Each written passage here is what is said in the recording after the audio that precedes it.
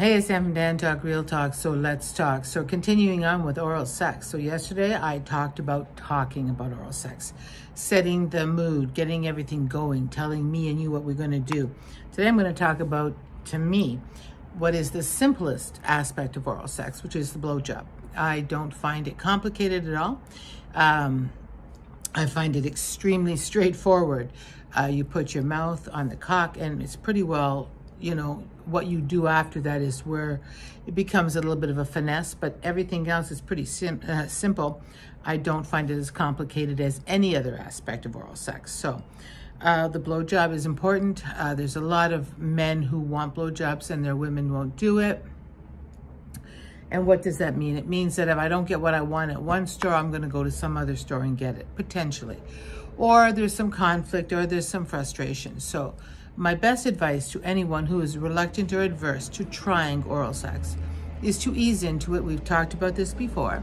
The best way to do something, to get it in your mouth, is to, first of all, whatever issues you can take away from it. So if it's truly religious or truly cultural, then you either need to work around it or accept that it's not going to happen. Either way, that's up to you. But time has come, we've had a conversation, we have decided that we're going to do it. So now I'm not sure. I'm afraid of the taste, whatever. So we get you all washed up, everything's set up. We start having a bit of romance.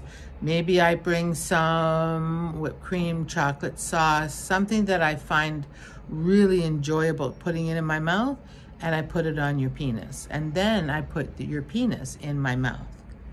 Now, the other part of it that I'm fully aware of from a female point of view, because I've experienced it, I'm a woman, but at the end of the day, the gag reflex. Um, thank God I'm blessed with a almost non-existent gag reflex. So it makes it easier. Don't force anything. Don't, do not, I always tell men this, do not put your hand on her head and force it down. That will take away any even willingness she has, it will make her feel pressured. And don't do that. That's just not necessary. Talk her through it. Again, now we're going to add the talking and the cocking together and we're going to see if we can make it work.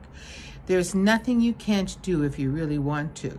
So don't try to put the whole thing, depending on how big it is, don't try to put the whole thing in your mouth. Start with the tip and then ease your way down a little bit and see if you can make it work. There's everything to be gained here from trying the blowjob. Blowjob, again, in my opinion, the simplest, simplest act in the oral sex repertoire. Diane from Diane Talk, real talk, real talk. Give it a go. Get down there. Suck it. You'll like it. I'll see you tomorrow. Bye.